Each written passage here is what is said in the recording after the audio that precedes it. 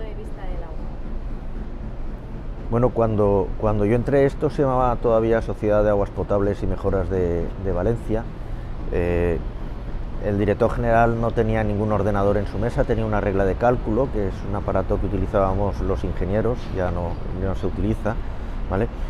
Y, las tuberías, pues todavía eran muchas de la guerra civil o anteriores.